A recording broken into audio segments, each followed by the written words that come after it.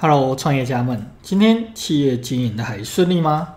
这个影片要与你分享的是每日遇见杜拉克十一月十六号文章：正确的组织，组织里唯一会自行演绎的就是混乱、冲突和绩效不佳。百年前的管理学先驱说的很对，组织架构是必要的，现代企业需要组织，但是。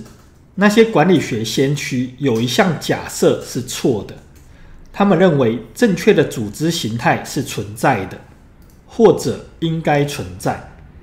其实，管理阶层不必追寻什么是正确的组织，而应该学习寻找、发展、测试符合工作需求的组织。的确，有一些组织的原则存在，其中之一就是组织必须透明。人们必须知道并了解他们在什么组织架构下工作。组织里必须有一个人在某个特定范围内拥有最后决策权。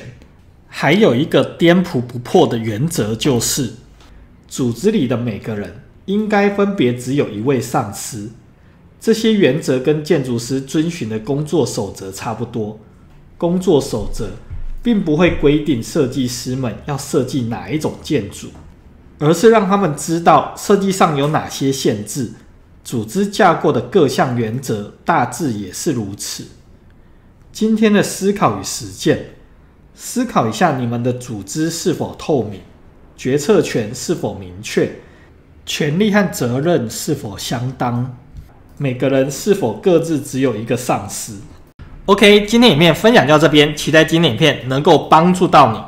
如果你想要看到更多我在商业模式、网络行销、人工智慧的修炼笔记的话，欢迎你扫描画面当中 QR code 到我网站去看更多哟。我陈华军，我们下个面见，拜拜。